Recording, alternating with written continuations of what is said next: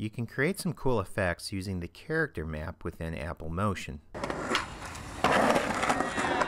First, navigate to the Apple menu in the upper left corner and choose System Preferences. Click on the Language and Text icon. Now click on the Input Sources tab. Turn on the Keyboard and Character Viewer. An icon will appear in the Mac OS X menu bar for easy access to the character viewer. You can now go back to Final Cut Pro. Right-click on a clip within Final Cut Pro and choose Send to Motion Project. Give your motion project a name and press the Save button. After Motion opens, click on the Text tool. Then click anywhere within the Canvas window. Navigate to the Mac OS X menu bar and show the character viewer. Click on the Stars Asterisk category and choose the solid black star. Then press the Insert button eight times. Navigate over to the Inspector tab.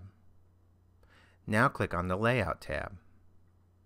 Change the layout method to Path Move down to the path shape and change it to a circle. Adjust the radius until you complete the circle full of stars. Then you may need to adjust and resize your stars to fit the canvas window. Click on the Select Transform tool to reposition and resize your object.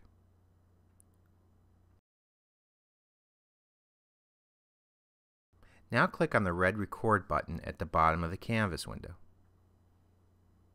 Move the position indicator to the last frame of your clip. Then move back to the Inspector window and change the path offset to 100%. OK, now move the position indicator to the front of the clip. Next, move over to the Style tab. Turn off the face for the stars and turn on the outline. Change the fill to a gradient. Go ahead and pick a gradient style.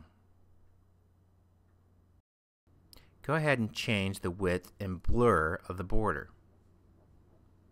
OK, now move over to the Add Filter button. Choose Glow and then Light Rays.